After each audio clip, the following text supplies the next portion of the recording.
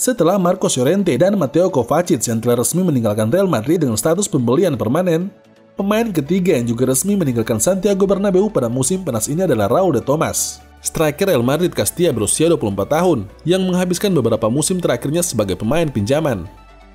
Raul de Tomas telah menyelesaikan kepindahannya ke Benfica dengan nilai transfer mencapai lebih dari 20 juta euro.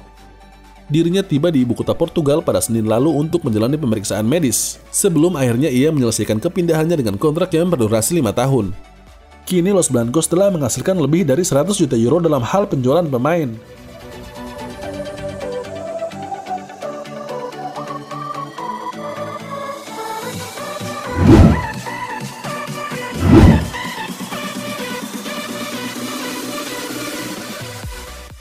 Sejauh ini lima pemain telah didatangkan oleh Real Madrid di musim panas ini. Alhasil jumlah pemain di skuad Zinedine Zidane pun saat ini menumpuk.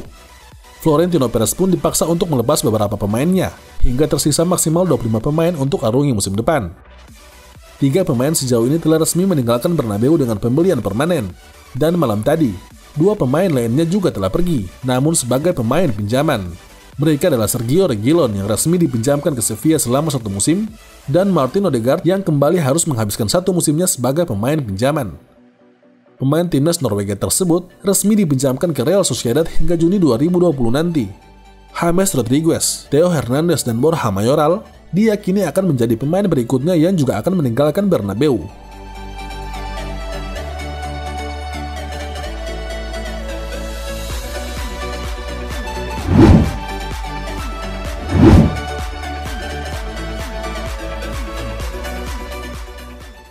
Pekan depan Los Blancos dijadwalkan akan melakukan perjalanan mereka ke Amerika Serikat untuk rangkaian tur pramusim mereka tahun ini.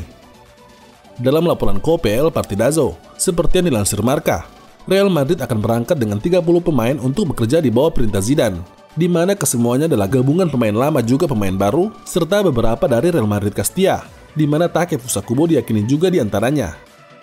Sementara Casemiro, Eder Milito, Dani Ceballos, Jesus Vallejo, dan Federico Valverde kemungkinan besar tidak akan bergabung bersama tim di Amerika, sebab mereka masih akan menghabiskan jatah liburan mereka pasca tugas internasional.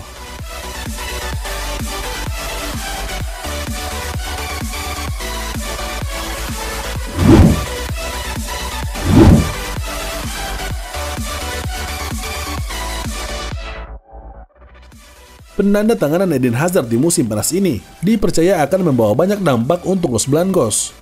Hal itu bahkan diyakini oleh mereka yang berada di dalam tim, tak terkecuali Vinicius Junior, yang merasa bahwa persaingan untuk mendapatkan tempat di tim utama akan semakin kompetitif pasca kedatangan pemain timnas Belgia tersebut. Dengan datangnya Hazard akan membuat saya lebih sulit untuk bisa bermain. Tetapi itu bukan masalah bagi saya, semuanya akan tergantung pada Zidane. Pasca kedatangan Hazard, juga Luka Jovic dan Rodrigo Gois, skuad Los Blancos saat ini memang lebih banyak opsi untuk lini serang.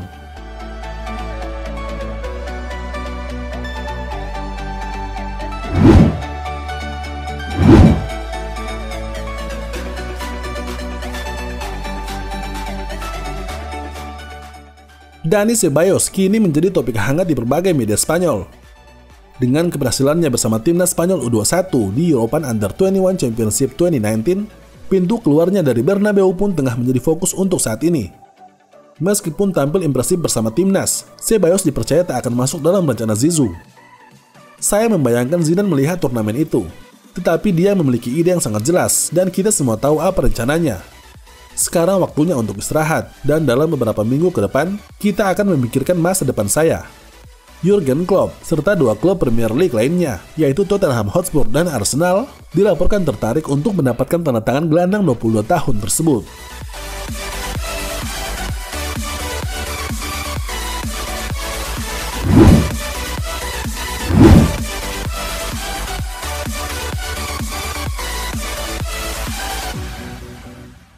Marka dalam laporannya melaporkan, Real Madrid siap untuk memasukkan Gareth Bale dalam kesepakatan Paul Pogba Bale yang dipercaya tidak akan masuk dalam rencana Zizou, dan Pogba yang telah menjadi pemain yang sangat diinginkan sang entrenador di musim panas ini, dilaporkan akan menjadi operasi transfer yang sedang dilakukan di Madrid.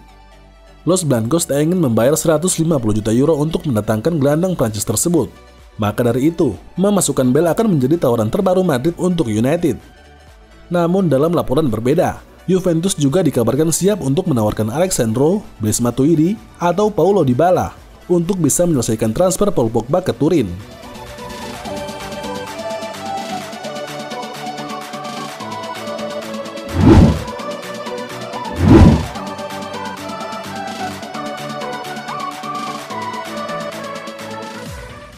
Berpartisipasi dalam tiga gelar Liga Champions Real Madrid, Kroos pun dimintai tanggapannya tentang penandatanganan pemain baru Los Blancos, di mana dirinya mengaku tidak peduli. Sebab dirinya percaya, tim di Real Madrid telah dibentuk dalam beberapa tahun terakhir. Saya tidak tahu apakah Anda bisa menilai itu sekarang, atau apakah akan ada satu atau dua pemain lagi yang datang. Tetapi pada akhirnya, saya memiliki banyak kepercayaan pada kepemimpinan kami. Tiga gelar Champions adalah prestasi besar. Hampir tidak ada yang berubah dalam beberapa tahun terakhir, yang berarti bahwa tim telah dibentuk sebelumnya. Itulah sebabnya saya tidak peduli.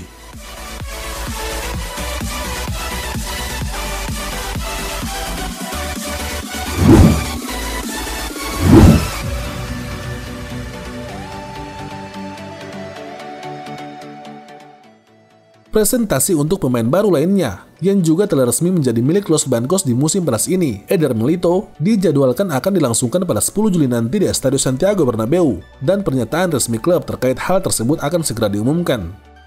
Setelah timnas Brasil menunaikan kompetisi mereka di Copa America pada 8 Juli nanti, sang pemain dijadwalkan akan segera terbang ke Madrid.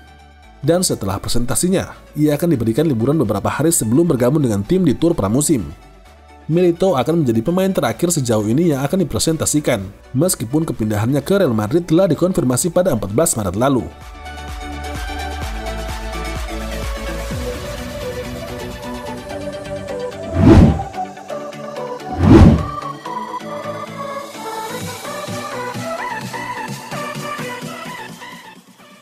La Liga telah resmi mengumumkan jadwal untuk musim kompetisi 2019-2020, di mana Los Blancos akan memulai musim dengan mengunjungi Estadio Balaidos kandang Celta Vigo, yang waktu kick-off-nya masih menunggu konfirmasi. Tanggal untuk Hornada pertama La Liga musim ini akan dimainkan pada tanggal 17, 18, dan 19 Agustus.